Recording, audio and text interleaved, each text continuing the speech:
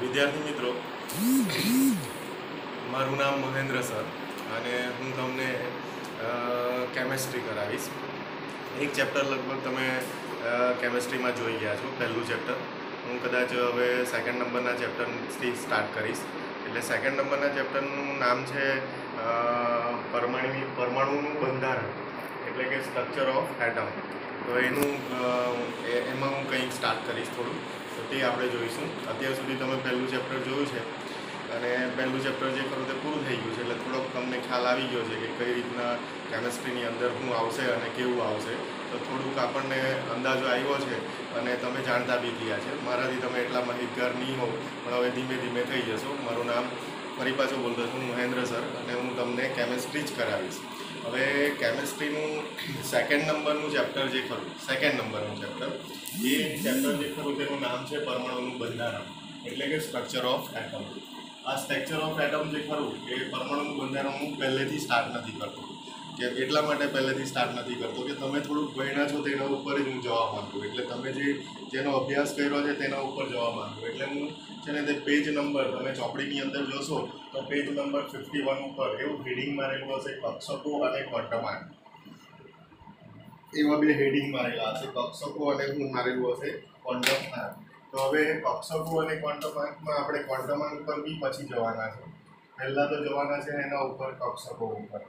હવે કક્ષકોનો બી આપણને એટલો બધો પૂરતો ખ્યાલ નહીં હોય કે કક્ષકો કોને કહેવાય અથવા કક્ષા કોને કહેવાય આપણને પૂરેપૂરો અંદાજ નહીં મળે તો હવે હું થઈ, હવે હું થાય તો હું થોડુંક પહેલેથી સ્ટાર્ટ કરું. તો કે તમે જાણો, પરમાણુ જે ખરો તે, પરમાણુ જે ખરો તે આપણે આ રીતના દર્શાવીએ ગોળાકાર. અને વચ્ચે જે ટપ્પો મારીએ એને આપણે, એવું તમે દસમા ધોરણમાં ભણેલા હશો, તો આ પરમાણુનું કેન્દ્ર કહેવાય. એટલે પરમાણુ નું શું કહેવાય? કેન્દ્ર કહેવાય. અને આ જે રેખા દોરી છે, જે બહારની રેખા જે કરી, એ એકચ્યુઅલી એને કક્ષા કહેવાય. પણ ત્યાં ઇલેક્ટ્રોન પરિભ્રમણ કરતો હોય એવું તમને કદાચ ખબર હશે. તો ઇલેક્ટ્રોન જે હૃદય પરમાણુના કેન્દ્રની આસપાસ વર્તુળાકાર માર્ગે પરિભ્રમણ કરતો હોય અને આ કેન્દ્ર જે ખરું તે બહુ નાનું હોય અને એ કેન્દ્રની અંદર બે કણો આવેલા હોય પ્રોટોન અને ન્યુટ્રોન. પ્રોટોનને ચાર્જ હોય પ્લસ ન્યુટ્રોનને ચાર્જ હોય ઝીરો. ઇલેક્ટ્રોનને ચાર્જ હોય માઇનસ.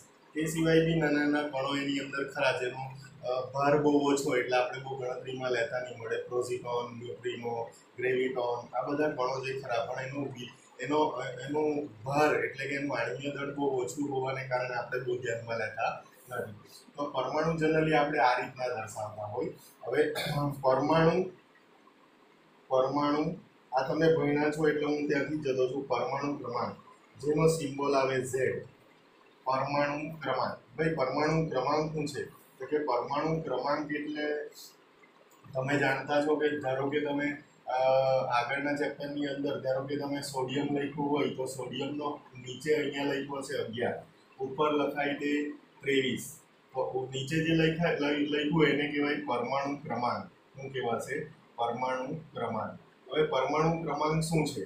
તો કે પરમાણુ ક્રમાંક એટલે પરમાણુ જરા જરાક ધ્યાન. પરમાણુના કેન્દ્રમાં રહેલા ફક્ત પ્રોટોનની સંખ્યાને સંખ્યાને પરમાણુ ક્રમાંક તરીકે ઓળખવામાં આવે. પરમાણુ ક્રમાંક તરીકે તરીકે ઓળખવામાં આવે. ઓળખવામાં આવે. આ બહુ ધ્યાનથી જરાક ધ્યાન આપો પરમાણુ ફક્ત પ્રોટોનની સંખ્યા. એટલે કેન્દ્રમાં બે કણો રહેલા છે, પ્રોટોન અને ન્યુટ્રોન. એમાં ફક્ત પ્રોટોનની સંખ્યા અને તેને શું કહેવાય? તો કે પરમાણુ કહેવાય. અને જેટલા પ્રોટોન હોય, જેટલા પી પ્લસ હોય, એટલા હોય, એટલા જ હોય, એટલા જ ઇલેક્ટ્રોન હોય, એટલા જ ઇલેક્ટ્રોન હોય. એટલે કે ઇલેક્ટ્રોન બાર હોય અને પ્રોટોન જે ખરો તે કેન્દ્રમાં હોય. પણ હોય સરખા, સંખ્યા સરખી હોય. હવે ઉપર જે દર્શાવવામાં આવે, એને કહેવાય પરમાણુ ભાર. પરમાણુ ભાર એનો સિમ્બોલ આવે છે ને એ. શું આવે એ. હું એની વાત કરતો છું પરમાણુ ભાર. પરમાણુ ભાર. આની તમે ચર્ચા કરી ગયેલા છે. હું ખાલી થોડુંક આગળ જવા માટે પ્રયત્ન કરી રહ્યો છું. પરમાણુ ભાર. પરમાણુ ભાર એટલે શું? તો કે પરમાણુના કેન્દ્રમાં રહેલા કેન્દ્રમાં રહેલા પ્રોટોન અને ન્યુટ્રોનની સંખ્યાના સરવાળાને સંખ્યાના સરવાળાને પરમાણુ ભાર કહેવાય. પરમાણુ ભાર કહેવાય. હવે શું થાય? જ્યારે આપણે પરમાણુની અંદર ઘૂસવાના હોય, તો પરમાણુ તો આપણને ખબર પડવી જોઈએ ભાઈ, પરમાણુ શું છે? અને પરમાણુની અંદર કેટલી વસ્તુ આવેલી છે, તે આપણે ખાસ કરીને તો આ ભાઈ, આ સોડિયમ જે ખરો, સોડિયમનો એક પરમાણુ લેવું, તો એની અંદર હું હું આ તો સોડિયમનું તત્વ છે, પણ સોડિયમનો એક પરમાણુ લઉં તેની અંદર શું શું આવી શકે? તો તે આપણે ચર્ચા કરી. તો આ થઈ ગયું પરમાણુ ક્રમાંક અને પરમાણુ ભાર, પર- અથવા ભારાંક કોઈ ભારાંક લખે, કોઈ ભાર લખે, કોઈ પરમાણુ દળ બી લખે.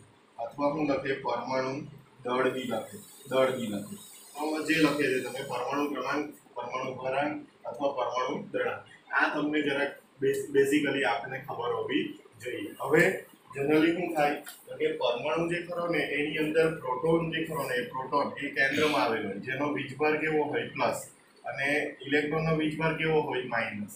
તો દરેક પ્રોટોનથી દરેક ઇલેક્ટ્રોન જે ખરો તે આકર્ષાયેલો હોય. આકર્ષાયેલો હોય, અને એ ઇલેક્ટ્રોન જે ખરી તે બધી દિશાઓમાં સરખા અંતરે હોય. એટલે જ આપણે આ વર્તુળાકાર માર્ગ બતાવી શકીએ.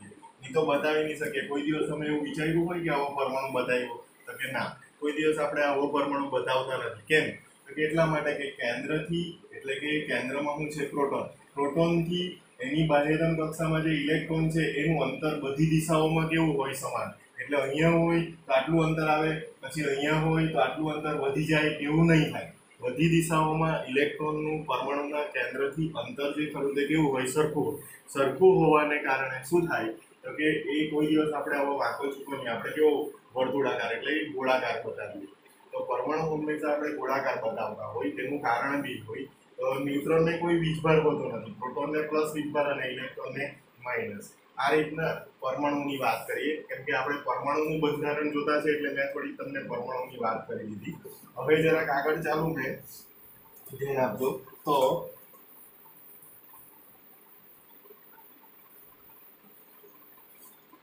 હવે આ જે પરમાણુ છે, એ પરમાણુમાં હું બે વસ્તુની વાત કરવાનો, બે વસ્તુ. કેમ કે પરમાણુમાં છે ને, પરમાણુ રહેલા ઇલેક્ટ્રોન ક્યાં છે અને શેમાં છે? ક્યાં છે અને શેમાં છે? તો કે તે છે ને કક્ષા અને કક્ષકમાં દર્શાવાય. કક્ષકમાં દર્શાવાય. દર્શાવાય અથવા એને કહેવાય કે ઇલેક્ટ્રોનની ગોઠવણી કક્ષા અને કક્ષકમાં થયેલી એટલે ઇલેક્ટ્રોનની ગોઠવણી ગોઠવણી કક્ષા અને કક્ષકમાં થયેલી હોય. કક્ષકમાં થયેલી હોય. થયેલી હોય.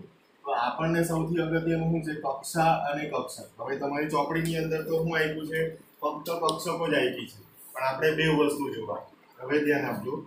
તો કે ભાઈ, પરમાણુનું આ કેન્દ્ર અને આ જે હું રાઉન્ડ દોરું એ ચોક્કસ વર્તુળાકાર માર્ગ આવ્યા કે જેમાં ઇલેક્ટ્રોન સતત શું કરતો હોય તો કે પરિભ્રમણ કરતો હોય. ઇલેક્ટ્રોન સતત પરિભ્રમણ કરે. અને આ એનું કેન્દ્ર. કેન્દ્રમાં શું આવેલું છે? તો કે પ્રોટોન અને ન્યુટ્રોન. આ આપણે જોઈ ગયા. હવે પરમાણુ જે ખરો, એના ચોક્કસ અંતરે જે વર્તુળાકાર માર્ગમાં, જો જો ધ્યાન આપજો. કક્ષા કોને કહેવાય હું બોલતો છું અથવા લખતો છું. કક્ષા એટલે શું? કે પરમાણુમાં, પરમાણુના કેન્દ્રથી ચોક્કસ અંતરે વર્તુળાકાર માર્ગમાં માર્ગમાં ઇલેક્ટ્રોન ભ્રમણ કરતા હોય. ભ્રમણ કરતા હોય. એ વર્તુળાકાર વર્તુળાકાર માર્ગને કક્ષા કહેવાય. કક્ષા કહેવાય. બરાબર ધ્યાન આપજો. કક્ષા એટલે ઓર્બિટ. કક્ષા એટલે શું કહેવાશે? ઓર્બિટ. ઓર્બિટલ અને ઓર્બિટ બે વસ્તુ અલગ.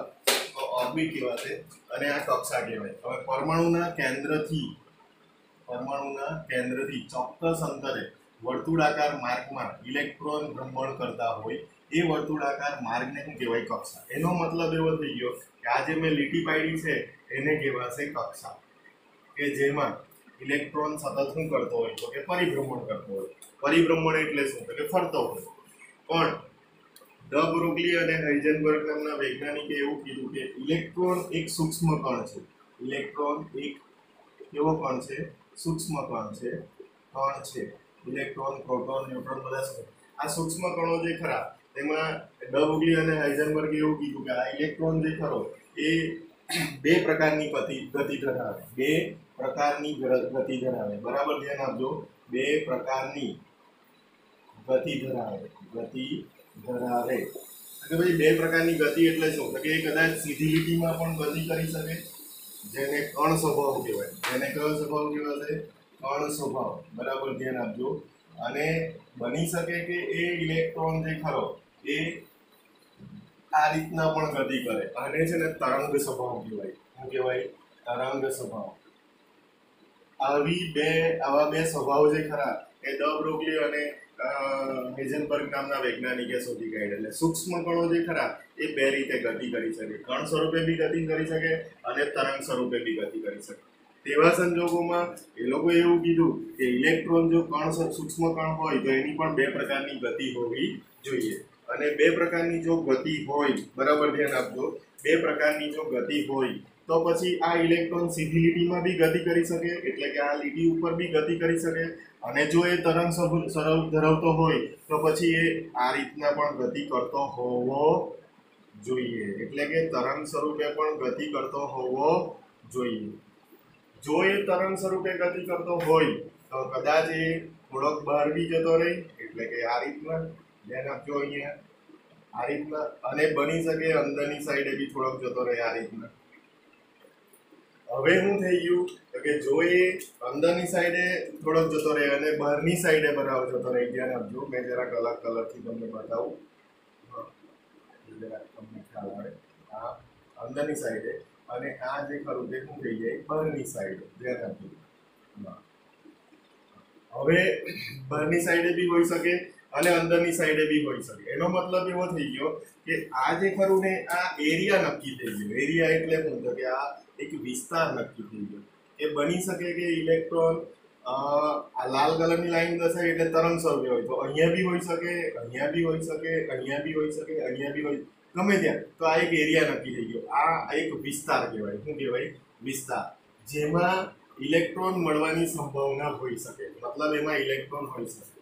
એટલે આ જે ઇલેક્ટ્રોનના સૂક્ષ્મ કણની બે પ્રકારની ગતિને આધારે ઇલેક્ટ્રોન જે ખરો તમે પેલી બ્લુ લાઇન પર બતાવેલો હતો, કે જેને આપણે કક્ષા કીધેલું હતું હું કીધેલું હતું? કક્ષા. પરમાણુના કેન્દ્રથી ચોક્કસ અંતરે વર્તુળાકાર માર્ગમાં ઇલેક્ટ્રોન ભ્રમણ કરતા હોય, એ વર્તુળાકાર માર્ગને શું કહેવાય? કક્ષા.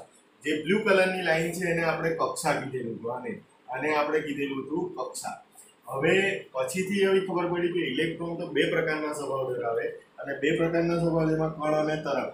તરંગ કણ અને તરંગ સ્વભાવ ધરાવતા હોય તો બની શકે કે ઇલેક્ટ્રોન જે ખરો તે તરંગ સ્વરૂપે બી ગતિ કરી શકે ને જો તરંગ સ્વરૂપે ગતિ કરે, તો એ આટલા, બહાર બી થોડોક જાય, અંદર બી, તો આટલો એરિયો એટલા એરિયામાં ઇલેક્ટ્રોન મળે. એટલે ચોક્કસ જગ્યાએ નહીં, પણ અમુક અંદર બી અને અમુક બહાર બી. તો આ જે એરિયો છે, જેને આપણે વિસ્તાર નામ આપ્યું, એને કહેવાશે કક્ષક. શું કહેવાશે? કક્ષક. હવે હું એની વ્યાખ્યા લખું. તે જરાક ધ્યાન આપજો. આ વિસ્તાર જે ખરો ગ્રીન કલરનો એને કહેવાશે કક્ષક. કક્ષક કોને કહેવાય. તો કે પરમાણુના કેન્દ્રથી પરમાણુના કેન્દ્રથી એવો વિસ્તાર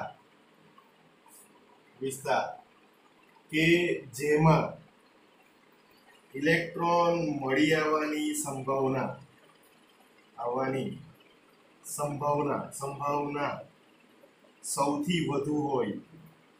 સૌથી વધુ હોય. એવા વિસ્તારને અથવા એવા એરિયાને વિસ્તારને કક્ષક કહેવાય. કક્ષક કહેવાય. બરાબર ધ્યાન આપજો. કક્ષક કહેવાય. પરમાણુના કેન્દ્રથી એવો વિસ્તાર કે જેમાં પરમાણુના કેન્દ્રથી બહારનો એવો વિસ્તાર કે જેમાં ઇલેક્ટ્રોન મળી આવવાની સંભાવના સૌથી વધુ હોય એવા વિસ્તારને કહેવાય કક્ષક. એટલે કક્ષકની વસ્તુ અલગ થઈ ગઈ કક્ષા. ચોક્કસ લીટી જે બ્લુ કલરની બતાવેલી છે એને કહેવાય કક્ષા. અને આ જે વિસ્તાર મેં બતાવું કે જેમાં ઇલેક્ટ્રોન મળી આવવાની સંભાવના સૌથી મેક્સિમમ હોય, સૌથી વધારે હોય એવા વિસ્તારને શું કહેવામાં આવે? કક્ષક તરીકે ઓળખવામાં આવે. આ થઈ કક્ષા અને કક્ષકની. આ તમારે નોટ ડાઉન કરવાનું હું જેટલું બી ચાલુ એટલું મને તમારી નોટની અંદર લખેલું હોવું જોઈએ અને એના ફોટા પાડીને મને મારા પર્સનલ નંબર ઉપર વોટ્સઅપ મારે કરવાનો રહેશે. હવે આપણે આગળ જઈએ. આગળના વિડીયોમાં જઈએ.